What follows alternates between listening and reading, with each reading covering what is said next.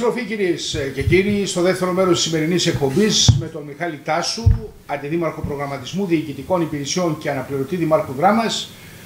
Κύριε Τάσου, ας μπούμε τώρα στα ενδότερα, τα του Δήμου. Πώς πάει η κατάσταση, Δύο χρόνια περίπου συμπληρώνεται στην Δημοτική Αρχή σε αυτή την περίοδο.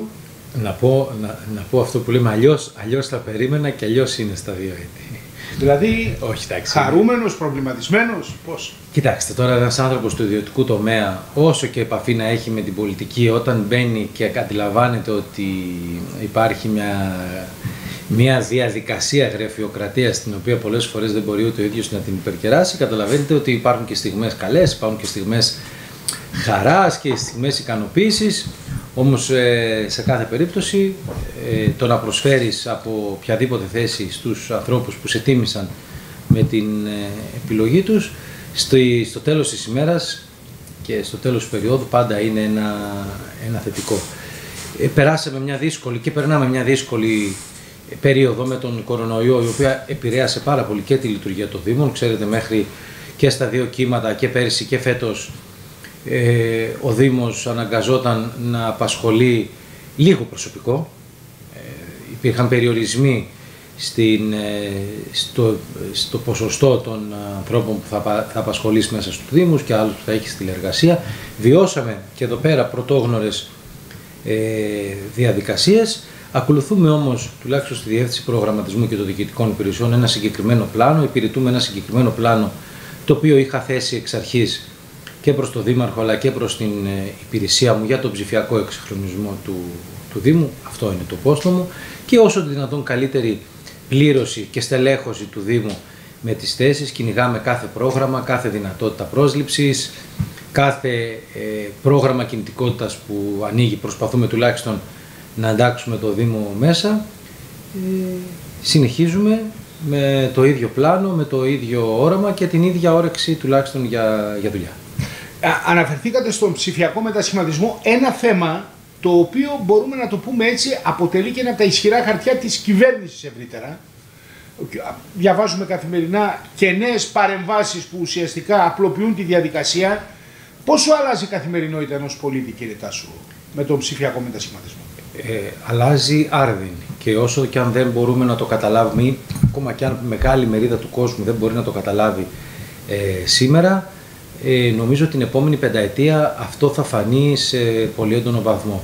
Να σας πω και να απευθυνθώ και να, να απευθύνω και ένα ρητορικό ερώτημα στους τηλεθετές μας. Φαντάζεστε εσείς ε, να μην είχαμε τη διαδικασία με την πλατφόρμα για να κλείνουμε ραντεβού για τον εμβολιασμό και να έπρεπε να πάει ο πολίτης είτε σε κάποιο κέντρο εμβολιαστικό, είτε να πάει στο ΙΚΑ, είτε να πάει στο ΚΕΠ, είτε να πάει στο, ε, στον Δήμο και να πρέπει με τη φυσική του παρουσία να κλείσει ραντεβού για εμβολιασμό. Δεν θα είχε γίνει ποτέ ε, τίποτα. Λέω ένα απτό παράδειγμα, γιατί μεγαλύτερη μερίδα του κόσμου ήρθε σε επαφή με αυτό το κομμάτι της ψηφιακής εξέλιξης. Από εκεί πέρα, να σας πω εγώ, για παράδειγμα, στη δουλειά μου σαν δικηγόρος, για πρώτη φορά μπορούμε να μπούμε στο κτηματολόγιο και να κάνουμε μια έρευνα, μια έρευνα τίτλων. Θα έπρεπε... Απλοποιεί τη ζωή μας, λέτε. Απλοποιείται η ζωή μας σε μεγάλο βαθμό και το δεύτερο επίπεδο που θα πρέπει να κάνουμε είναι να απολοποιήσουμε και τις διαδικασίες.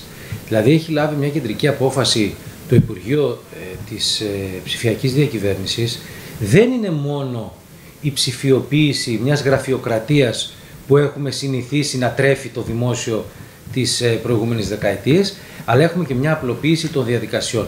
Η ψηφιοποίηση και γενικά η απομακρυσμένη εξυπηρέτηση του κόσμου είναι κάτι το οποίο το βλέπουμε και θα, είναι, θα έχει ορατά αποτελέσματα σε μεγαλύτερο αριθμό κόσμου την επόμενη πενταετία σε πολύ μεγάλο βαθμό. Να σας πω ποιος πλέον δεν απολαμβάνει τα ωφέλη του internet banking. Να μπαίνει και να πληρώνει ένα λογαριασμό του ε, μέσα, από το, μέσα από τον υπολογιστή του και να μην χρειάζεται να πηγαίνει ε, στην τράπεζα. Όλα αυτά αργούν. Ε, πλέον μεγαλύτερη μερίδα κόσμου έρχεται σε επαφή με τους ηλεκτρονικούς υπολογιστές και με τα δίκτυα κινητής ε, Τα μαθαίνει λέτε γιατί του λύνουν τα προβλήματα. Μαθαίνει, ε, ενσωματώνουμε τέτοιες τεχνολογίες και στο Δημοδρά μας και με τα αιτήματα πολιτών και με την ηλεκτρονική διακίνηση εγγράφων. Βρισκόμαστε τώρα στο τελικό στάδιο υπογραφής σύμβασης με έναν ανάδοχο, ο οποίος θα παρέχει το σύνολο των πιστοποιητικών του Δήμου μέσω μιας ψηφιακής θηρίδας, ο κάθε δημότης δηλαδή δράμας. Το επόμενο τρίμηνο, αφού και ολοκληρωθεί η συμβατική υποχρέωση, περίπου δηλαδή στα τέλη Οκτώβρη, αρχές Νοέμβρη, θα έχει μια δική του ψηφιακή θηρίδα. Θα μπορεί να μπαίνει μέσω αυτής της ψηφιακής θηρίδας να απευθύνει το αίτημά του προς το Δήμο για τέλος ακίνητης περιουσίας, για, πιστο... για κάποιο πιστοποιητικό. Θα ταυτοποιείται ως χρήστης με τους κωδικούς του τάξης και θα μπαίνει μετά από μία-δύο ημέρες μέσα σε αυτό το ψηφιακό του ταχυδρομείο για να δει ε, για να πάρει, τις, να πάρει το πιστοποιητικό το οποίο ζήτησε και να μπορεί να το χρησιμοποιήσει, να το αποστείλει όπου επιθυμεί.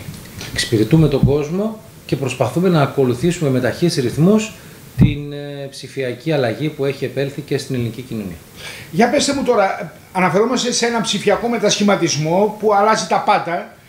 Ε, συμμετέχουν οι πολίτες στο βαθμό που θα έπρεπε ή έχουν μάθει ότι τα παράπονά σας στον Δήμαρχο, στον Αντιδήμαρχο, στον αναπληρωτή Δημάρχου πρέπει να πάμε εκεί να του δούμε και από κοντά.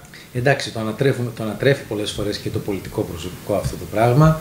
Όμως ε, νομίζω πως με τον καιρό η συμμετοχή θα είναι ακόμα, ε, ακόμα μεγαλύτερη.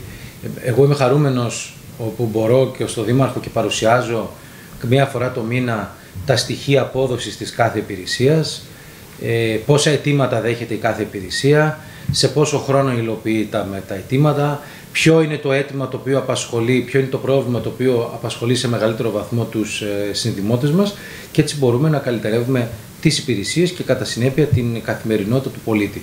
Όλα αυτά, ξέρετε, μπορεί να σωματώνονται, αλλά έχουν ένα χρόνο στον οποίο μπορούν να τεθούν σε πλήρη λειτουργία, αρκεί να υπηρετούμε πιστά ένα όραμα και ένα σκοπό. Τουλάχιστον από τη διεύθυνση την ε, πληροφορικής και του προγραμματισμού, αυτό προσπαθούμε να κάνουμε ε, και νομίζω σιγά σιγά η ανταπόκριση θα είναι όλο και περισσότερη. Η υπηρεσία προγραμματισμού ε, θα την χαρακτήριζα λίγο άγνωστη υπηρεσία στο ευρύ κοινό, κύριε Τάσο; Κοιτάξτε, ξέρετε, κύριε Φυλακτέ, κακά τα ψέματα. Ε, ο δημότης, ο κάτοικος μιας περιοχής έχει, έχει συνηθίσει να έχει στο μυαλό του ως ε, Δήμο την καθαριότητα, το πράσινο, την τεχνική υπηρεσία, είναι τα πράγματα τα οποία έχει ανάγκη να είναι δίπλα του και στα οποία κάνουμε και ε, εξαιρετική δουλειά. Για να λειτουργήσουν όμως όλα αυτά τα πράγματα, από πίσω υπάρχει ένα ολόκληρο, ε, ένα ολόκληρο σύστημα το οποίο πρέπει να κινεί ολόκληρο το δημόσιο. Ξέρετε, είναι το front office και το back office πολλές φορές. Υπάρχει διοικητική υπηρεσιών, η οποία προσπαθεί τουλάχιστον για την καλύτερη στελέχωση, οι οικονομικές υπηρεσίες, οι οποίες είναι αυτές οι οποίες πληρώνουν, κάνουν τις προμήθειες και φυσικά ο προγραμματισμός, ο οποίος είναι μια αλυσίδα, λέτε, μια αλυσίδα η οποία εξελίσσει τα πράγματα. Είναι και το τμήμα του προγραμματισμού, το οποίο έχει υπό την υποπτία του καταρχήν και την αποδοτικότητα όλων των υπηρεσιών, αλλά και έχει το κομμάτι των προγραμμάτων χρηματοδότησης ενός Δήμου. Είναι η υπηρεσία, για παράδειγμα, η οποία εποπτεύει την εξέλιξη όλου του ΒΑ, ε, είναι η υπηρεσία η οποία έχει να κάνει με τα ευρωπαϊκά προγράμματα και με το πώς όλες οι υπηρεσίες θα μπορούν να επικοινωνούν με τον καλύτερο τρόπο μεταξύ τους, ώστε να βγαίνει το τελικό αποτέλεσμα, στον, ε, είναι το τελικό αποτέλεσμα προς τον κόσμο. Κάθε υπηρεσία μέσα σε ένα Δήμο έχει τη δικιά της, τη δικιά της αξία και χωρίς αυτήν δεν θα μπορούσε να λειτουργήσει ολόκληρο αυτό το οικοδόμημα που λέγεται Δήμος. Κάθε υπηρεσία έχει τη δικιά της ε, σημασία, το ίδιο και η διεύθυνση προγραμματισμού. Μάλιστα και εκτός από την υπηρεσία προγραμματισμού είπατε, αναφερθήκατε φυσικά και στο έργο του ΒΑ. Κορυφαίο ε, και σημαντικό έργο αυτή τη στιγμή που βρίσκεται σε εξέλιξη. Πολλά τα προβλήματα όμως. Και κύριε Φυλαχτέ, δεν θα πάψω να τονίζω όσο βρίσκομαι στην θέση του Αντιδημάρχου και όσο βρίσκομαι στο Δήμο, ότι ΒΑ δεν είναι μόνο η τεχνική παρέμβαση που γίνεται στη 19η ε, Μαΐου. Το ΒΑ είναι ένα σύνολο υποέργων τα οποία θα έρθουν και θα αλλάξουν όχι μόνο την καθημερινότητα, αλλά θα αλλάξουν τον τρόπο με τον οποίο αντιλαμβανόμαστε την, ε, την δράμα.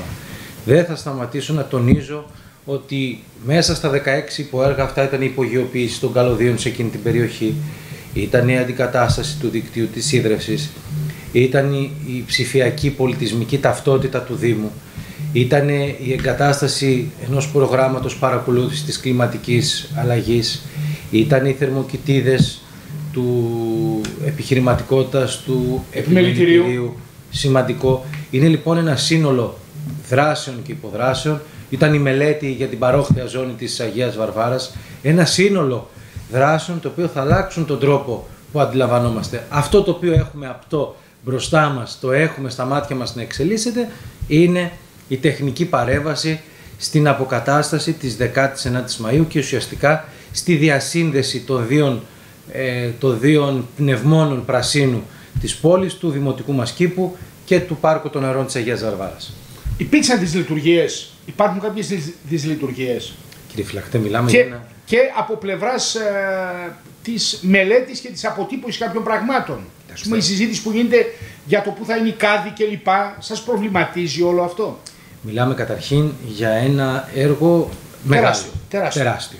Για μια τεχνική παρέμβαση που αν μη τι άλλο θα δημιουργήσει ζητήματα και προβλήματα ε, κατά τη διάρκεια της εκτέλεσης. Ξέρετε όλοι θέλουμε να γίνονται έργα. Όταν όμως έρχονται και γίνονται ε, μπροστά μας πολλές φορές ε, δημιουργούν προβλήματα. Ευλόγως, εγώ θα σας πω, εγώ δεν κατηγορώ τους πολίτες. Τώρα, όταν, όταν όλο έχει ένα μαγαζί επί τόσο καιρό στον κορονοϊό κλειστό, εξαιτίας των μέτρων για την διασπορά και ξαφνικά εξαιτίας του προγραμματισμού που δυστυχώς προπήρχε, ξανακλίνει και δυσχεραίνεται η, δυσχεραίνεται η λειτουργία του καταστήματός μας, όμως όπως βλέπετε και επειδή είστε έμπειρος δημοσιογράφος και παρακολουθείτε έργα τεχνικά, ε, δεν μπορούμε να πούμε ότι το τεχνικό έργο του ΒΑΝ είναι ένα έργο το οποίο καθυστερεί. Βλέπετε ότι ήδη στρώθηκαν τα, τα, κράσπεδα, τα κράσπεδα μέχρι και σχεδόν τη συμβολή της, ε, της 19ης Μαΐου με την ε, οδό Καραϊσκάκη.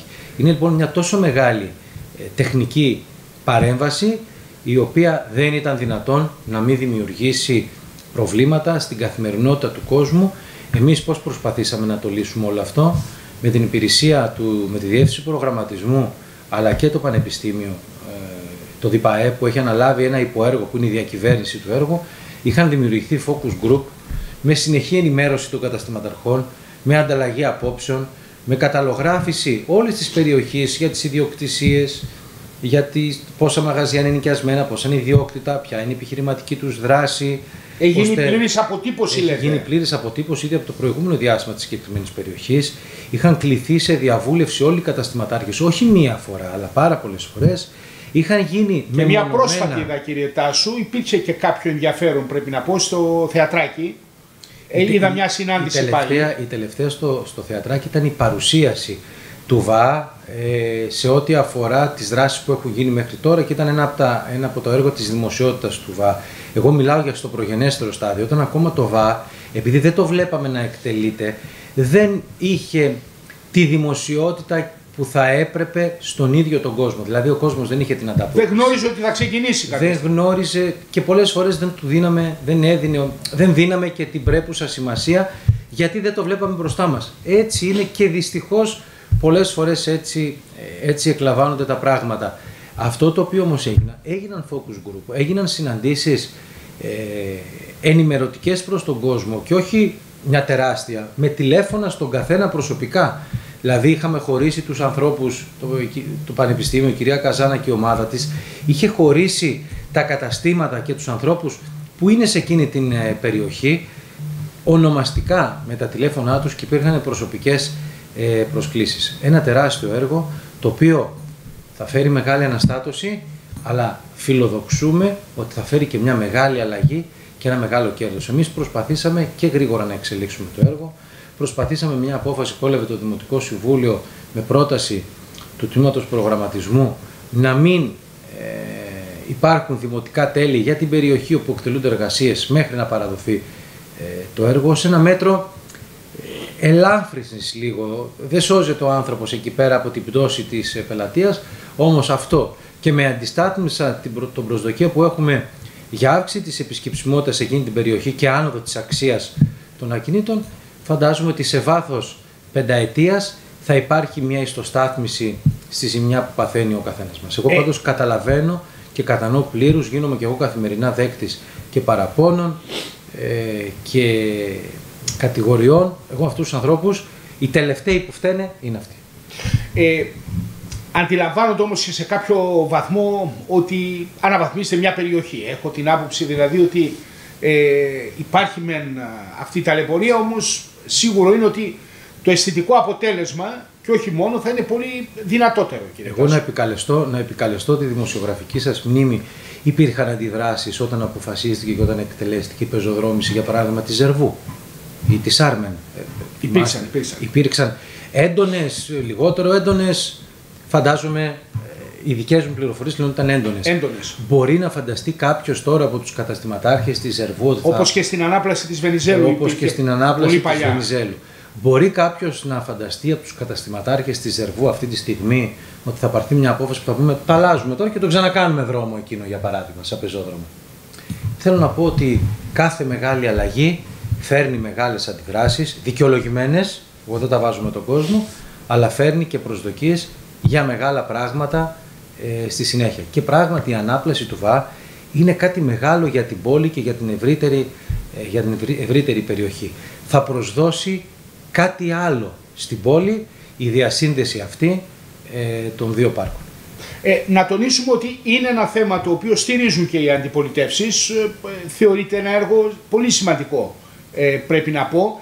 Θα υπάρξει και μια συνέχεια, κύριε Τάσου, δηλαδή Υπάρχει προσδοκία ότι το έργο θα συνεχιστεί και σε, άλλες, σε άλλα σημεία; Το ήδη, αντίστοιχο έργο; Ήδη έχει αναλάβει ο Δήμαρχος στην πρωτοβουλία και κάνει επαφές για το ΒΑ2. Δεν νομίζω ότι μπορώ εγώ σε τόσο πρώιμο στάδιο να πω κάτι. Ξέρετε, μου αρέσει στα λόγια μου να είμαι πάντα μετρημένος και να έχουν μια ανταπόκριση πίσω.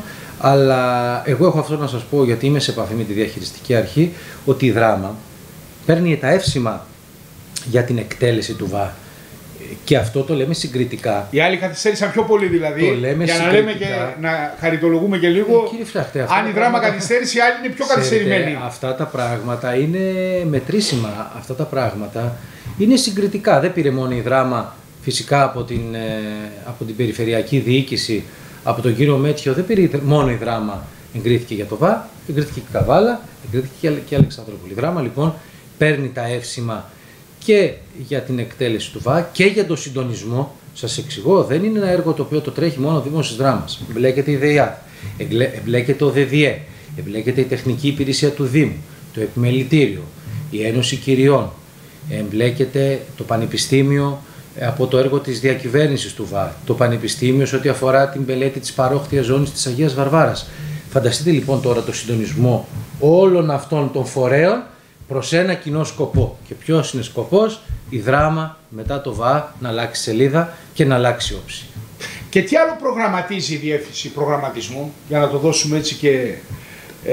Η Διεύθυνση, η διεύθυνση ε, Προγραμματισμού καταρχήν ε, και γι' αυτό είμαι πάρα πολύ χαρούμενος και θέλω να ευχαριστήσω δημόσια τους συνεργάτες, τα στελέχη της Διεύθυνσης ε, του προγραμματισμού είχε άμεση εμπλοκή σε όλο το πρόγραμμα του, του Αντώνης Στρίτσης για το, για το οποίο τόσο πολύ λόγος έχει γίνει. Μάλιστα, Άναψε φωτιές ο είναι, είναι προτάσεις του, προγρά... είναι, προγρά... είναι προτάσεις του τμήματος και η ΑΤΑΦ 8 σε συνεργασία με τη Δημοτική Αστυνομία, η ψηφιακή πόλη, αλλά και η πρόταση για την, ε, για την ηλεκτροκίνηση. Ε, έχουμε κατεβάσει και τώρα είμαστε στο τελικό στάδιο της κατακύρωσης και για τα σχέδια φόρτισης ηλεκτρικών οχημάτων. Παρακολουθούμε συνεχώς ό,τι πρόσκληση βγαίνει και για την κινητικότητα και για το πράσινο ταμείο και γενικά οτιδήποτε μπορεί να αντλήσει χρηματοδότηση ε, ο Δήμος της Δράμας και προσπαθούμε να κατευθύνουμε όλες τις, τις υπηρεσίες προς αυτό το σκοπό. Αντιδήμαρχος και διοικητικών υπηρεσιών ο Μιχάλης Οτάσου και ε, προκλήθηκε μια συζήτηση, είδαμε και έναν διάλογο που είχατε τηλεοπτικά. Τι γίνεται τώρα, έχουν κάνει αίτηση για να, μέσω κινητικότητας για να φύγουν οι υπάλληλοι από το Δήμο, κύριε Τάσου. Κοιτάξτε, για να καταλάβουν και, και οι, οι, οι συνδημότες μας που μας ακούνε. Κάθε χρόνο δίνεται η δυνατότητα, ανοίγει ένας κύκλος κινητικότητας, όπως λέγεται. Σε αυτό τι ακριβώς γίνεται, μπαίνουν οι δημόσιοι φορείς, ε, ΟΤΑ, οι κρατικές υπηρεσίες, όλο το δημόσιο και λέει τι θέσεις ανοίγει, τι θέσεις θέλει να πάρει προσωπικό και ταυτόχρονα δημόσιοι υπάλληλοι δηλώνουν ότι θέλουν να ενταχθούν στο πρόγραμμα αυτό της κινητικότητας.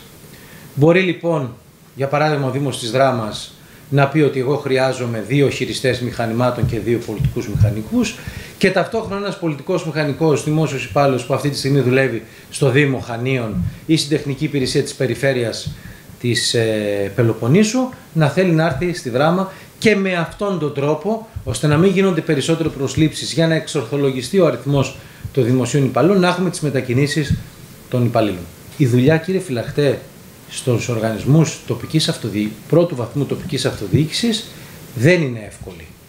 Ειδικά είναι ορισμένες υπηρεσίες όπως η τεχνική υπηρεσία και η οικονομική υπηρεσία που έρχονται και τραβάνε όλο το λούκι, για να το πω απλά, της, ε, της λειτουργίας ενός Δήμου. Ως εκ τούτου είναι υπηρεσίες που πολλοί θα ήθελαν να, να φύγουν. Η κινητικότητα λοιπόν δεν είναι αυτή την ευκαιρία. Στα πλαίσια της κινητικότητας αυτής της περίοδου, 14 υπάλληλοι του Δήμου της Δράμας δήλωσαν ότι θέλουν να, ότι θα εξέταζαν το δεχόμενο αν πήγαιναν σε κάποια άλλη υπηρεσία, για να το πω απλά. Δεν σημαίνει ότι και οι 14 θα φύγουν, μπορεί να μην φύγει κανένας από αυτούς τους 14. Πρέπει να συνενέσει και ο Δήμος Δράμας για να φύγουν. Πώς γίνεται ακριβώς; Θα σας πω. Επειδή αυτό το πρόβλημα δεν το αντιμετωπίζει ο Δήμος της Δράμας όπως ήθελαν να πούν τα στελέχη της μείζωνο αντιπολίτευσης την προηγούμενη φορά, τα αντιμετωπίζουν όλοι οι Δήμοι. Στην προηγούμενη κινητικότητα βγήκε μια ρύθμιση από το Υπουργείο ε, εσωτερικών, όπου για στελέχη, για υπαλλήλους της τεχνικής υπηρεσίας, απαραίτητη προϋπόθεση για τη μετακίνησή τους ήταν η προηγούμενη έγκριση των, ε, των δημάρχων. Ε, αυτό είναι το όλο το σημαντικότερο. Σε γενικότερο πλαίσιο δεν απαιτείται η έγκριση του δημάρχου για να φύγεις από τον ένα φορέα και να πας στον άλλο. Μάλιστα, σας ανησυχεί λίγο, γιατί αυτό υπόθηκε ότι ε, είναι μεγάλος ο αριθμός, καταρχάς, είπε ο κύριος Χαρακίδης. Είναι πολύ μεγάλος ο αριθμός, αλλά δεν είναι φαινόμενο το οποίο συναντάμε μόνο στο Δήμο της Δράμας. Ε... Είναι, είναι φαινόμενο που συναντάμε σχεδόν σε όλους τους Δήμους, γι' αυτό και η ίδια η ΚΕΔΕ ζήτησε με παρέμβασή της να αντιμετωπιστεί το ζήτημα της κινητικότητας. Πάμε να δούμε και ένα ακόμη ζήτημα. Το τελευταίο διάστημα προκλήθηκε και μια συζήτηση πώς ε, μπήκαν οι προτεραιότητες στο πρόγραμμα Τρίτσης ε, κύριε Τάσου, αν θα έπρεπε να είναι αυτά τα έργα τα οποία είναι προσένταξη ε, στο πρόγραμμα αυτό, δηλαδή το ε, δημοτικό στάδιο ε, και αυτός ο χώρος στην ανάπλαση, στην, στο περιφερειακό του Κοριλόβου και προκλήθηκε και μια συζήτηση αν θα πρέπει να είναι ένας ευρύτερος διάλογος συζήτησης ποιες είναι οι προτεραιότητες γενικότερα του Δήμου της Δράμας. Θεωρείτε ότι το συγκεκριμένο έργο στο Κορίλοβο θα έπρεπε να είναι ε, άμεση προτεραιότητα του Δήμου; Ε, κύριε Δεν έχει πιο ζωτικά προβλήματα η πόλη; Το ζήτημα των προτεραιοτήτων είναι ζήτημα μιας πολιτικής απόφασης και οι πολιτικές αποφάσεις των, των πολιτικών προσώπων κρίνονται από τους ίδιους τους πολίτες και όχι μόνο από τις ε, αντιπολιτεύσεις. Εδώ έγινε μια προετοιμασία σε όλους τους Δήμους και περίπου στον Απρίλιο βγήκε το ζήτημα του, του πλαφών.